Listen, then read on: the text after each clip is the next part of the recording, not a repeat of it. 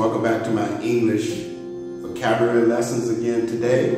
Today I'm going to be giving you 11 brand new English vocabulary words that you must know in order to understand English.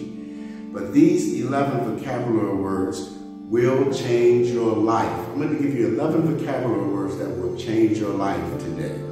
But first, please like my page as always and also hit that subscribe button for me. And as always, it will be greatly appreciated. So, what are the 11 vocabulary words that will change your life? Let's go over it, okay? The first one, Jehovah. Jehovah, God is blessing me. Pronunciate Jehovah. And pronunciate this vocabulary sentence.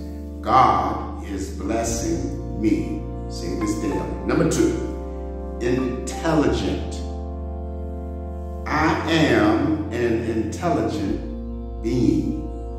I am an intelligent person. Repeat. Number three, beautiful. Are you beautiful? Of course you are.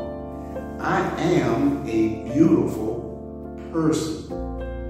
You are a beautiful person. You need to pronunciate these words every day and it will change your life. Number four, good. I am a good person. Are you a good person? I think you are. Pronunciate this every day. Healthy. Number six, healthy. I am a healthy person. Number seven, love. I love me, and I love everyone that I meet. This is very important. We love, we must love each other. Rich. Are you rich? I am a very rich person. Number is attractive to me. And I want money to be attractive to you also. Pronunciate these words every day, get it into your memory, and you, it will change your life. The next one, fruits. I love fruits. Fruits keep my body strong. 10. Vegetables. Vegetables keep my body strong and healthy. Do you eat fruits and vegetables? I hope so. And the last one, exercise. I love to exercise to keep my body healthy and strong. Well, those are the 11 English vocabulary words that you must know and also practice because th these 11 English vocabulary words will change your life if you pronunciate them daily, put them in those grammar sentences or put some of your own.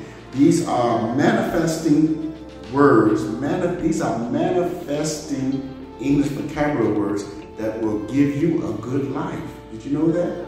But we must comprehend, understand, comprehend, and practice these English vocabulary word for that before that can happen. It will manifest a good life for yourself. Well, that's the lesson today, guys, the English uh, vocabulary lessons today, guys. Please practice it. Again, like my page. Also hit that subscribe button down there for me if you have not already done so. And as always, it would be greatly appreciated.